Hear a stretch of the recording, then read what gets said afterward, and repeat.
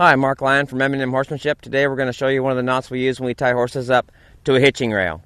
This is the clove hitch, and the reason we tie it up is use this knot when we tie horses to a rail is because if you tie a knot just that has a loop on it, they can go back and forth, and they can get to the end. They can kind of push on the horse next to them. This knot wraps around and clamps on that pipe and doesn't allow them to move side to side, so you can keep the distance and spacing that you want for your horses. So here's how you tie it. You're going to bring the tail end over the pipe.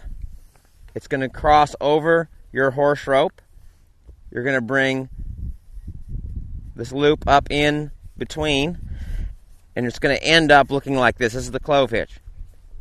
The rope goes from your horse over the pipe, crosses this rope, goes over the pipe again, and then this piece goes the other direction, slides up underneath there. So that's what you have. Now, when we're tying horses up, a couple things I like about this knot. Number one, no matter how tight that horse pulls, he's never going to get it so tight that you won't be able to get it undone. You'll be always be able to push those two pieces together and get some slack in there and untie it.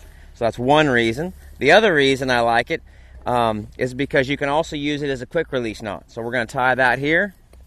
I'm going to take that over the pipe. And this time, instead of taking the whole piece through, I'm just going to take a portion of it. So I'm just going to take about this much through here. So this is my loop. What I'm going to do is I'm going to tie this and I'm going to, to make it a little bit more secure, I'm going to take this and just tie a little bit of an overhand knot there. Just like that.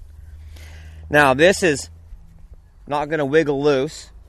Your horse isn't going to play with it very much and, and be able to get it. And if you want a little extra security, you can always take that tail through that loop like that.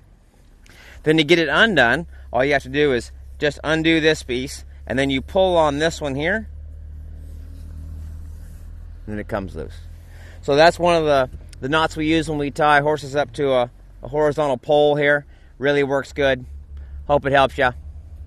See you next time.